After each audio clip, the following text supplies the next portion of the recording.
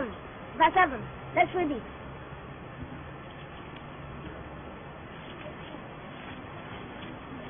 Are you there? Yes. Yes.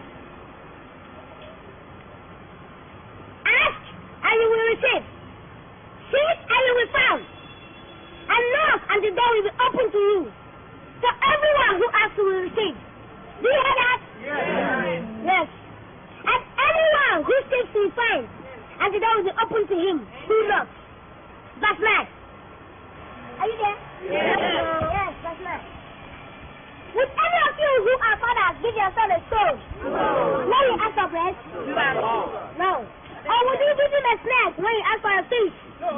No. The Lord says, Not everyone who calls me Lord will enter the kingdom of heaven, but only those who do what my Father in heaven wants them to do.